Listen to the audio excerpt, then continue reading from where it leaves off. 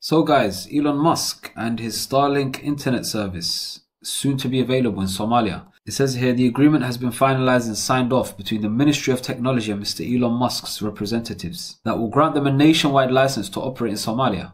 Interesting. Uh, before we discuss it, let's see what the Minister of Technology had to say. in ay ku soo biirtay shirkad caalamiya oo ka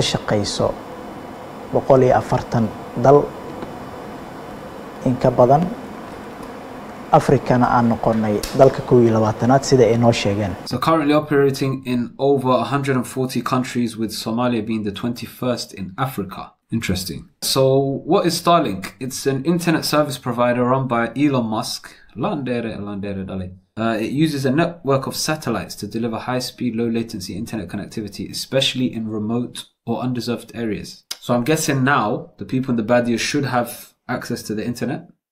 Maybe, maybe not. But in terms of the pricing, uh, if we base it off other countries in the region, uh, how it's going to work is you're looking at about 200 to 600 dollars just for the kit to be installed. And once it's installed, obviously depending on which program you go for, it's 200 or 600 to install it. And then followed by 30 to 50 dollars per month, depending on which service you opt for. Now I'm assuming Elon Musk is a smart guy. He's done his research. To me, 30 to 50 dollars in Somalia seems a very competitive price.